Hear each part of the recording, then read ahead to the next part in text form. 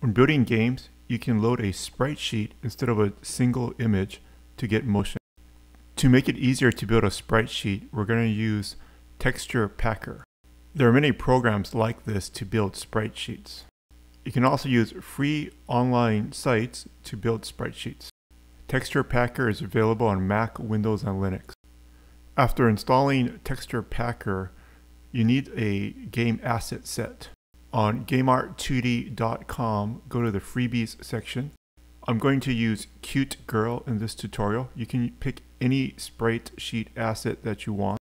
You can use your own sprite sheet. Uh, this tutorial will apply to any type of sprite sheet.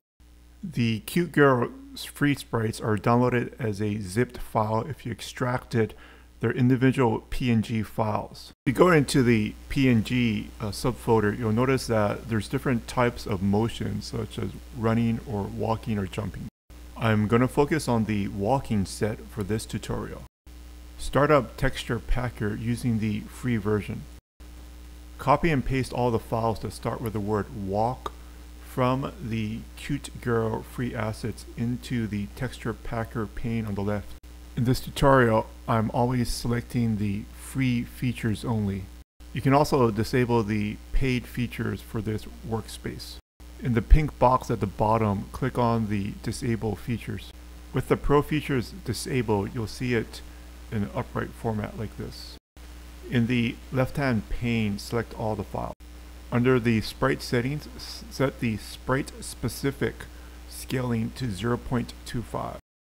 If you click on the preview animation button on the top bar, you can see that um, you'll have a little preview of the animation and then you can adjust the frame or the frame rate. In the settings for the project itself, I'm going to use the output files of framework as JSON hash. This is for Flame game development with Flutter. This is only if you want to follow with the next tutorial, which will use a texture packer a package with Flame Games. Depending on your framework, you may want to use a different settings. If you're following my tutorial, use JSON hash. Publish it and then save it to your local computer. Or we're going to use this in the next video to import it into a Flutter game there's going to be two files. One I'm going to call spritesheet.png and the other one is going to be spritesheet.json. We're going to move this into the assets folder of the Flutter Flame game for use within our game. The speed at which the animation takes place, you can preview it within Texture Packer. You can also just change the variable when you're developing the game in Flame. However, it might be nice to compare it uh, within this nice editor here. So initially the speed is very low, but you can speed it up to 20 frames per second around, depending on what we want. Initially I have the, uh, the frame rate pretty low. So in Flame it's the step time here. This is the step, this is the pause between the different frames, right? So if the step time is larger here, if it's 1, it was previously a, under 1 as a decimal, she's going to be pretty slow.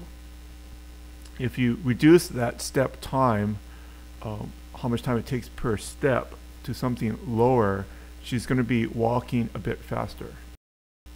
This is for the walk sprite component, so if you wanted her to go faster, we'd build another sprite component for run. Okay, congratulations! In the next video, we'll drop her into our game. There are many other videos in the 2022 Flame tutorial series, as well as 26 videos in the 2021 series. Subscribe to the channel for future updates. These videos are on Teachable as a free course. There's no upsell as this is purely a hobby for me.